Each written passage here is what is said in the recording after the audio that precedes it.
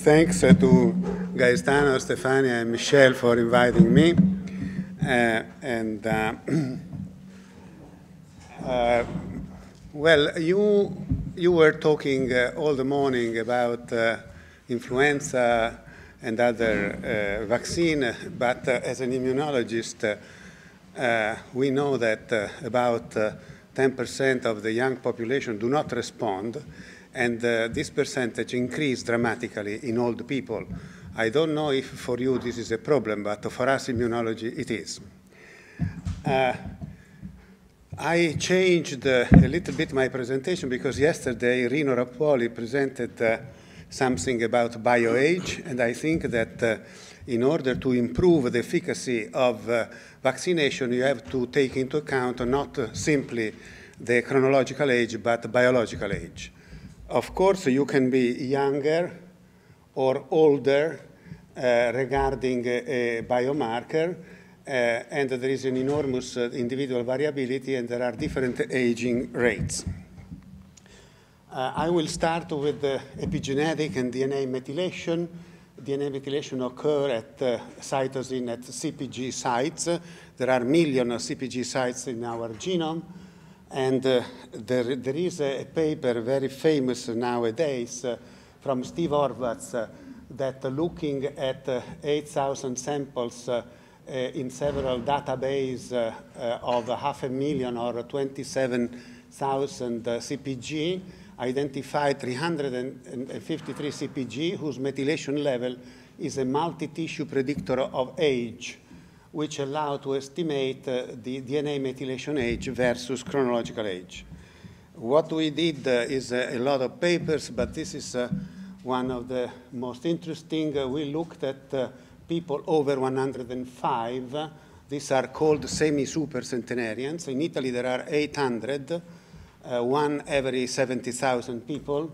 and of course, people of 106, 110, of course, are very rare uh, and their offspring, because we showed uh, previously that offspring of uh, uh long-living people are, uh, have a better uh, health, and these are age-matched control of the offspring.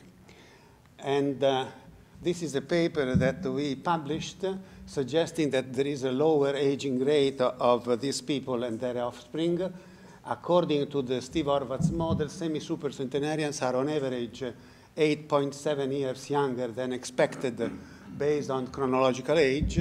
But what is even more interesting is that the offspring uh, are younger of five years, and the age-matched control, people of about 70, 75, DNA methylation age and chronological age overlaps. Uh, we did the same with the Down syndrome people. You know that Down syndrome is considered uh, Devo parlare qui? Perché non si sente? Down syndrome people, eh, se no non, ah va bene, guarda là. Down syndrome people are uh, considered a, in accelerated aging, uh, and you can see that in this case uh, there is an acceleration of aging in leukocyte of about four years, in the brain of uh, 11 years, and in the whole blood of five years. this was considered, I'm very proud, because was considered the best paper, the most outstanding papers published in Aging Cell in 2015. Uh, another markers which uh, we use to establish uh, uh biological versus uh, chronological age is uh, glycomic and glycans in particular. This is a, a review on this topic.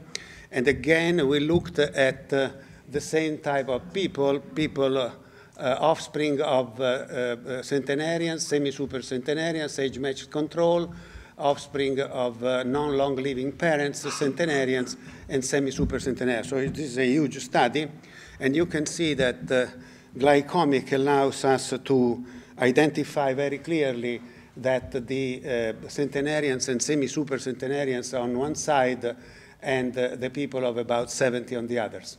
This, uh, this type of biomarkers do not distinguish between uh, uh, offspring of centenarians and, uh, and their control.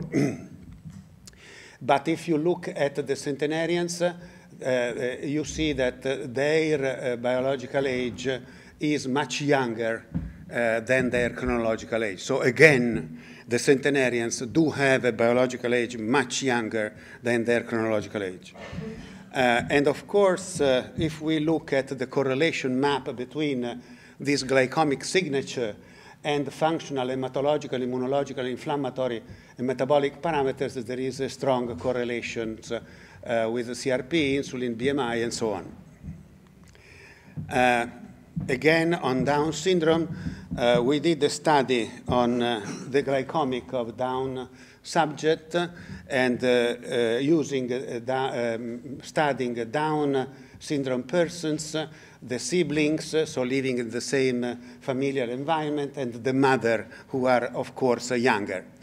and we used two technologies, the DNA sequencers aided and the MALDI-TOF, the mass spectrometry. And you can see here that uh, you can distinguish the, the between down and age-matched control, the siblings, these are in black uh, the difference. Down syndrome, old and young, this one, and uh, controls females were so young females, so this is age. So this is a very powerful uh, signature, one of the most powerful biomarker that uh, is available in the market and in the literature. Uh, this is just to give a look, uh, this is with the DNA sequencers. So few, uh, with mass spec, you can identify about 100 uh, glycans. With this uh, uh, technology, you can identify only 11 or 12, but is enough to uh, show that you can see that the Down syndrome male and Down syndrome females are older than the controls in the, the, the, the green circle and the, they can distinguish extremely well the down from the non-down. Uh, I published, I was a co-author of a paper uh, recently published uh, uh studying uh, the um, people with HIV, because HIV people are considered an accelerated aging, especially now that uh, they do not die of the, the disease. Uh, and uh, in this case, uh, these people in London were able, with MRI, to look at the brain biological age. Uh, so uh, the uh, 2,000 people from 18 to 90, and male and females, the same. So in this case, you can have brain predicted age. If you are here, you are older. If you are here, you are uh, younger. And uh, the data suggests that these people uh, in red, the HIV positive, are older of about 2.1 year uh, than in comparison with HIV negative. Uh, using another bioage uh, um, approach that was developed in this European project MARK-AGE, uh, we looked at about 4,000 people from 35 to 79 uh, using 400, uh, and we checked for 400 parameters uh, in the blood.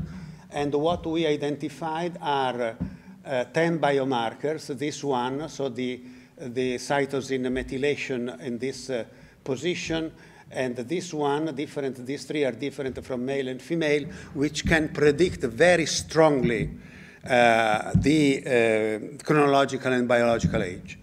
Uh, we used this uh, bioage that we developed in this European project, uh, and in this case, uh, for us, the, the HIV positive are 13 years older. So, of course, different parameters gives you absolute values which are concordant uh, for the trend, but of course there are some differences. So the lesson is that you have to use a combination of biomarkers in order to identify exactly the age. and of course you can have the age in the blood because uh, the, the, what I showed you for the centenarians uh, uh, was in the, in the blood cells, but you can have also the same in the brain.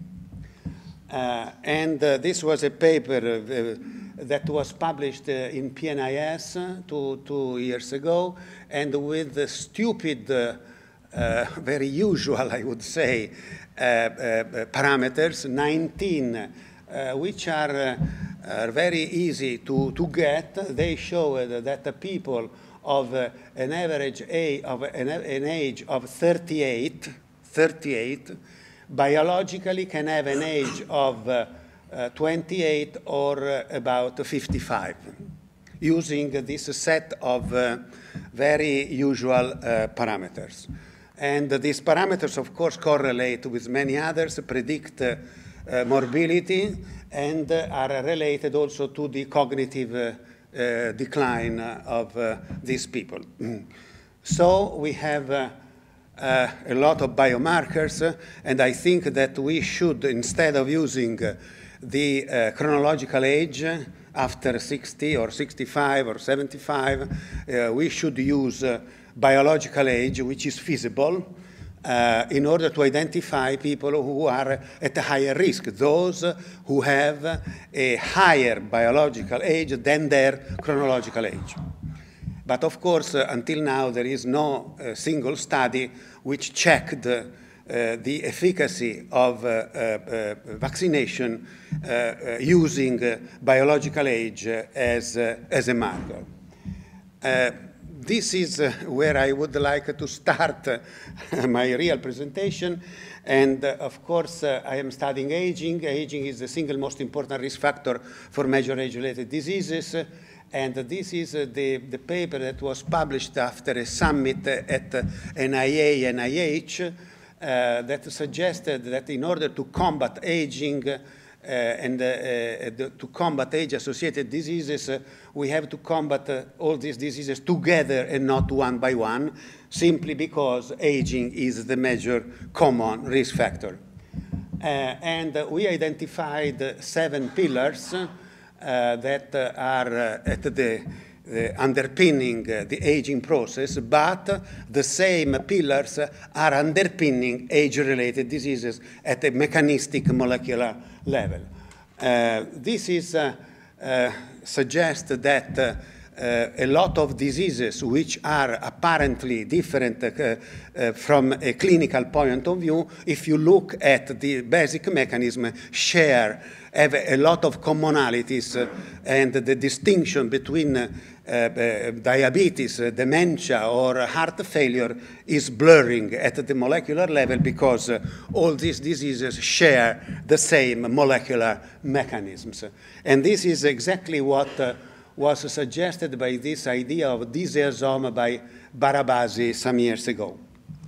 Uh, inflammation is uh, uh, my personal contribution to these pillars. Uh, and uh, uh, this, to come back to this paper that I published in an obscure journal, the Annal of New York Academy of Science, but has now a lot of quotation because it suggests that on the basis of an evolutionary perspective, suggests that inflammation and aging are deeply related to each other. Uh, and uh, the, uh, we suggested that the central uh, the central cell for inflammation is the macrophage. At that time, it was a sort of revolution because all the people were focusing on T and B cells, and I was uh, a peripheral immunologist suggesting that, that the macrophage were probably uh, most, more, more important. Uh, this is a paper that I published uh, with Judith Campisi. The, Judith Campisi discovered the um, uh, senescent cells, and you know that the senescent cells accumulate in the body, they stop growing, and they have a phenotype, uh, pro-inflammatory phenotype. They secrete tons of inflammatory compounds around, so they can contribute to uh, inflammation. And uh, most uh, uh, if not all age-related diseases, do have uh, a strong inflammatory component. Uh, the last paper that I published as a, an interesting title, inflammaging and garbaging. Why garbaging? Because the major idea, uh, well, these are the basic mechanisms. uh, activation of inflammasome, mitochondrial dysfunction, telomere uncapping, DNA damage response, cell senescence. The basic idea is in this slide uh, and suggests that cells, when are damaged, and the damage occur every day, Uh, release, uh, release a lot of uh, extracellular vesicles full of information which can enter the body and can exert uh, an effect on, uh, systemic effect on uh, many other organs. and locally, uh, inflammation uh, and inflammation propagate. So the idea is that uh, aging is a sort of infectious diseases which propagate from one cell to the, to the neighboring cells and from and, and systemically through the body. And these are the, the, the basic mechanisms. Uh, so the idea is that uh, the, the, the, the, basic stimuli for inflammation are uh, cell debris. Uh, all the, every day we destroy um, um thousands, millions of, uh, of cells, and the cells undergo necrosis or apoptosis, and the material of the cells become misplaced. Something which is inside the cells go outside the cell and the immune system, the macrophage, uh, see this, extra, this, uh, this misplaced protein as an inflammatory stimulus. Uh, just to give you an example, uh, we showed that mitochondrial DNA, which, which is in the mitochondria, the mitochondria are in the cell. If you look at the blood, you can find enormous amount of mitochondrial DNA in circulating blood. And since the mitochondrial DNA derive ancestrally from bacteria, this is, has an enormous inflammatory power. And uh, you can see that uh, with age, after age uh, 30 or 40, there is, this is a log scale, so there is an enormous amount of, uh, of uh, mitochondrial DNA circulating and exerting inflammatory uh, uh, um, um, uh, role.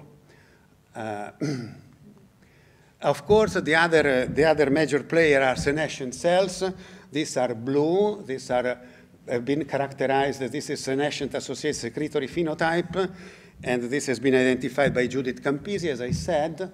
And this is to give an idea. I wrote this, uh, this mini, mini review for uh, Nature Review Endocrinology and uh, I found uh, papers suggesting that the, uh, um, the visceral adipose tissue which accumulate in obesity contains not only uh, inflammatory macrophages and inflammatory T cells, but senescent immune cells.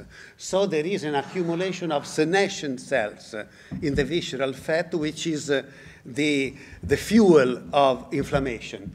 And the papers suggest that, uh, that uh, uh, uh, calorie restriction and physical activity can stop the accumulation of cell senescence. Uh, and, for example, you can take this T cells, uh, senescent T cells from uh, an obese mouse, you can transfer these cells to a lean mouse, and the lean mouse become obese. Uh, so the other point is that inflammaging is uh, very important. Inflammaging uh, anti-inflammatory compounds, the, the, the, production, and is the balance between inflammation and anti-inflammation which uh, matters for the uh, onset of uh, age-related diseases. And of course, inflammaging is systemic, the liver, the muscle, the adipose tissue, the immune system contribute. I would like to say something about the gut microbiota.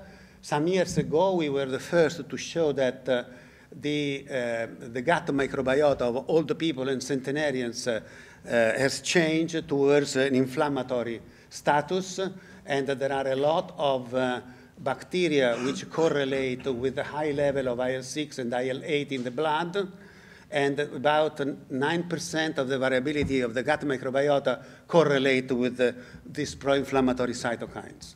This is the last paper that we published. We could reconstruct the trajectory from uh, uh, people of uh, 18 to people over 110, of course cross-sectionally because no, no longitudinal study collected the feces uh, Eh, in the past, so it's impossible to have longitudinal studies today.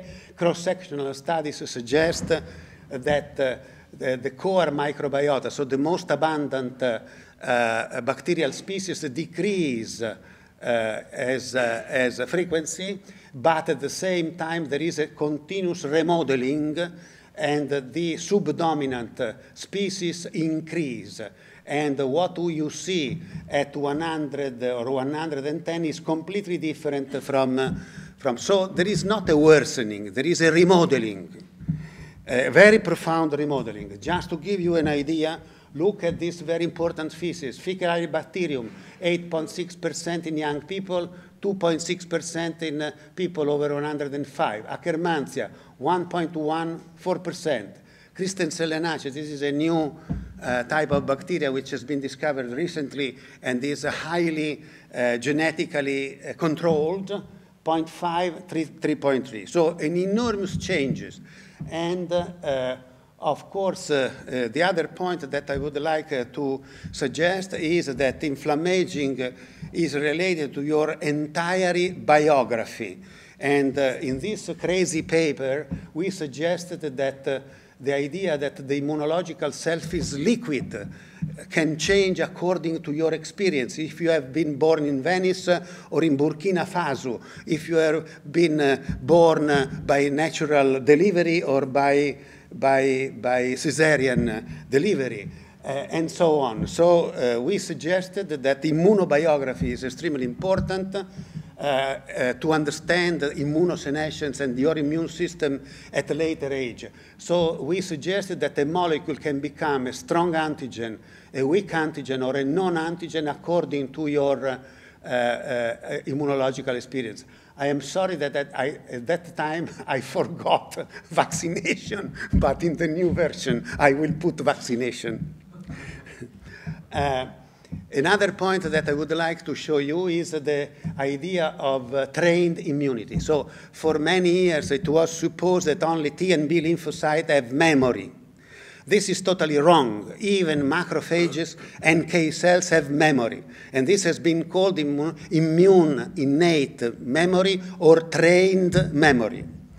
And uh, the, of course, uh, uh, it is interesting that uh, you can go from anti-inflammatory to a pro-inflammatory uh, phenotype, trained immunity and memory for innate host is induced after a primary infection or vaccinations, increase the resistance to, to host or infection, and the mechanism involves uh, uh, macrophage and NK cells, uh, and uh, uh, this is the scheme, macrophages and, and NK cells.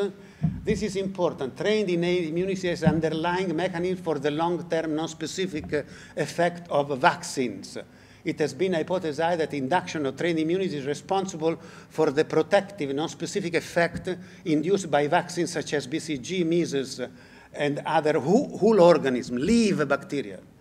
Uh, and this is, uh, for example, BCG enter, is digested into the phagosome and uh, uh can produce muramyl peptide, which increase uh, NOD2 and uh, is inducing a, an epigenetic rearrangement innate immune memory, the last frontier of adjuvancy. So probably this is the natural adjuvant, the real natural adjuvant. And these are, uh, this is taken from, uh, from this, this uh, uh, journal of Diana Boraschi, this paper of Diana Boraschi, and you can see the difference between innate and adaptive immunity, NK cells and macrophages, is not long, is short, shorter, uh, but uh, gives a, a, broad protection. Uh, there are others, of course, other. So the basic mechanisms are altered PPR expression, metabolic reprogramming at the level of the mitochondria, altered the cytokine release, and most importantly, probably the epigenetic reprogramming. Uh, there, is also, there are also data suggesting an influence of the microbiota on vaccine effectiveness. So I think that in the future, we should, uh, at least to perform uh, some trial where biological age and uh, the microbiome are taken into account in order to explain why some people respond to vaccine very well and others do not respond. Uh, of course, you know that the effect of the microbiome on the immune system is pervasive. Uh, uh, half of the immune system is in our gut. And of course, there is exert strong immunoregulatory effect. These are some of the bacteria. Uh, and uh, the idea is that, of course, uh, uh when uh, there is a normal homeostasis, is completely different uh, from where you have a microbial dysbiosis. The age-related change in the gut microbiota in, is not exactly a dysbiosis, but is a profound change that occurs in everybody, in every people with age. Uh, and uh, there is also an impact on nutritional status because diet may influence uh, the immune status through the gut microbiome. So they are very deeply related, diet and vaccine effectiveness. Of course, uh, uh, many micronutrients are important for immune function and vaccine effectiveness, including vitamin A and zinc. I have no time to go into details, uh, but it has been suggested to use to use probiotics, antibiotics, uh, in order to increase the effectiveness of the immune system, but there are not so many data. Uh, and of course, uh, this can also uh, help in understanding the different effect of vaccine in, uh, for example, Africa, and in Europe, because uh, you know that the microbiota of uh, African people is completely different because they have a completely different diet, completely different uh, population genetics, completely different history. So in order to understand the difference uh, uh, of, that the same vaccine can have in different geographical area, you have to take into account nutrition, gut microbiota, and so on. And uh, I think that microbiota influence vaccine and mucosal adjuvant efficacy. The microbiota may also influence adjuvant and vaccine efficacy. Malnutrition and poor sanitation, of course, uh, can affect the gut microbiota composition and impair the efficacy of vaccine. So I think that we are really scratching the surface and we must be much more uh, tough. So this is something that can help uh, with vaccination, microbe, Western diet, and so on. Uh, there is this uh, reprogramming of, uh, of the macrophages, and what is interesting is that uh, the, uh, the, diet can have a long-lasting effect on systemic host response via epigenetic reprogramming and microbiome-derived uh, danger signals. And you can see from here there are signals to the brain, to the liver, to the spleen, to the marrow, and so on. So but there is the other side of the medal, and if it is true, or we will, we will check if this trained immunity is good for increasing the adjuvanticity or uh, the immune response to bacteria uh, by an inflammatory response, it can have a, a, dark side effect because I showed you, I suggested you that uh, that most of the age-related diseases do have an inflammatory component. So if you uh, stress too much uh, the trained immunity and uh, uh of, uh, of all the people, you can have uh, also possible damaging, detrimental effect because you can increase the rate of inflammation. There are, of, course, non-specific effect of neonatal vaccination. You know better than me. Uh, non-specific vaccine effect, there is uh, all live vaccine studied reduce mortality more than can be explained by prevention of the targeted infections. And uh, this is uh, uh, while, of course, the DPT vaccine can have detrimental effect, deleterious effect, can increase mortality in studies mostly in, in Africa. Uh, and of course, trained immunity is probably one of the mechanisms involved. So campaign uh, where oral polio vaccine uh, should be stopped uh, is, is so uh, beneficial, the oral polio virus, for uh, reducing mortality not only because of reduced polio, but because it's a sort of umbrella reducing mortality for many other causes. Um, okay, so DAP vaccination were associated with increased infant mortality, you know this. And this is a very recent paper. BCG and MCV reduce overall mortality, while DPT may be associated with an increase in overall mortality. And this is another paper, beneficial, non-specific, on the same idea. There are also big uh, differences regarding the sex. Uh, I think that we are all interested in sex. Even uh, uh, vaccinologists should be interested in sex. And uh, the final thought that I took from the paper that I quoted before are the concept of non-specific vaccine effect challenge, the narrowly focused notion of vaccine as disease-specific intervention. The good news is that the beneficial non-specific effect provide potentially highly effective and yet relatively easy and affordable solution to reduce morbidity and mortality in early life. But I think uh, this can be applied probably even in adult life and uh, hence identification of the mechanism of this beneficial effect could open new uh, avenues. So the field of vaccinology has uh, for too long, too narrowly defined health as the absence of a specific pathogen. But since there is this umbrella effect, I think that we have to broaden our idea because any vaccination is an experiment. So you take a, a human subject and you inject something. So it's a is a, a, strong effect. And uh, the study that I did uh, as an immunologist suggests that when you uh, uh, stimulate the immune system with a specific antigen, with an adjuvant, you have an halo of uh, increasing activation which can uh, in, involve about from 10 to 20% of the all immune cells of the body. So each vaccination is a strong immunological event. Thank you for your attention.